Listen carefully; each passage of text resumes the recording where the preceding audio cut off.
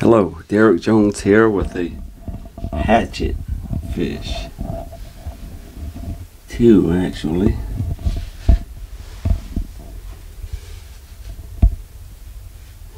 Quite common in Nova Scotia now.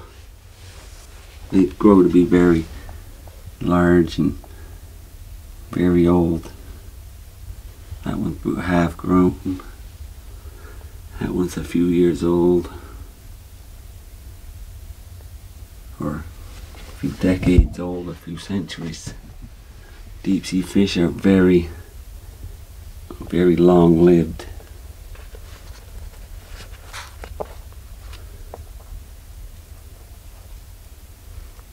Nice tail on the hatchet fish.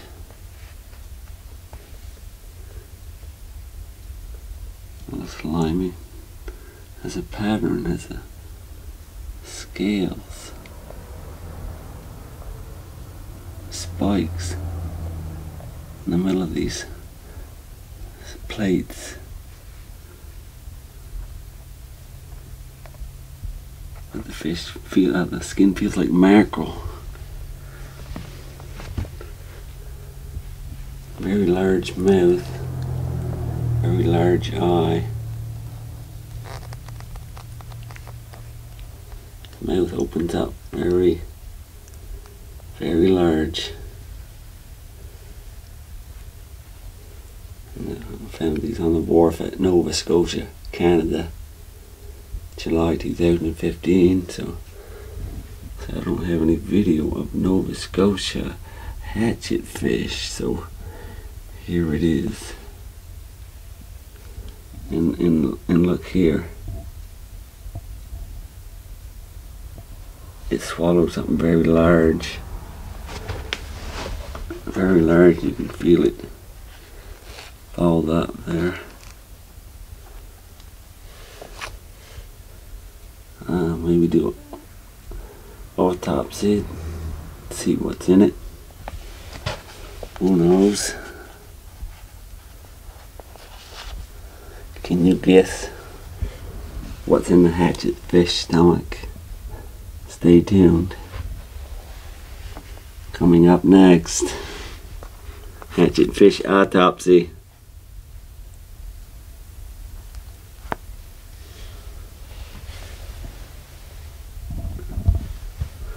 Should be good.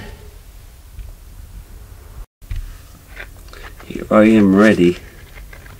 Ready to go in. I'll cut along there. A lot of horns and a lot of plates there. Yeah, See what's in there.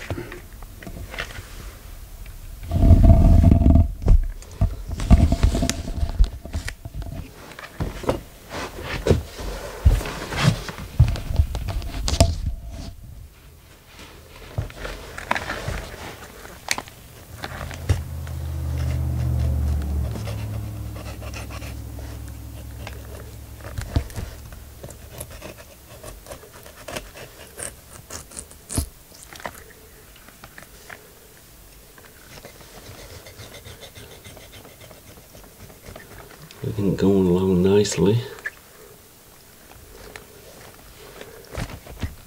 Uh oh.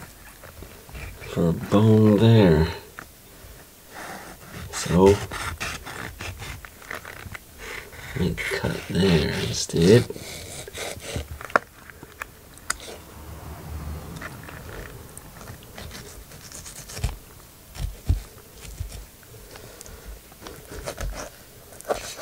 I don't think it's edible. Air bladder there.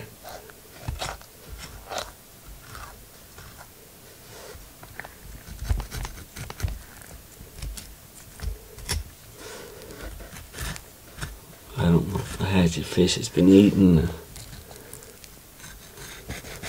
I suppose I'll have to Google it find out.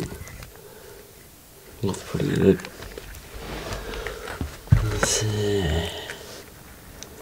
There's his stomach there.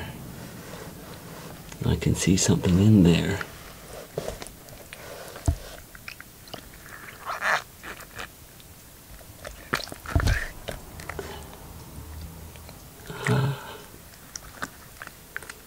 There you go. Silver hake. Silver hake. He's was chasing silver hake when it was caught. Jeez, how do you ever wolf that down? No. There you go, ladies. Autopsy results. Swallowed a silver hake and was caught in the trawl.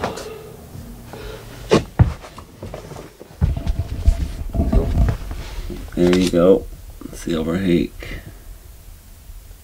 Hmm, quite fresh too, actually. Well, I know they're good.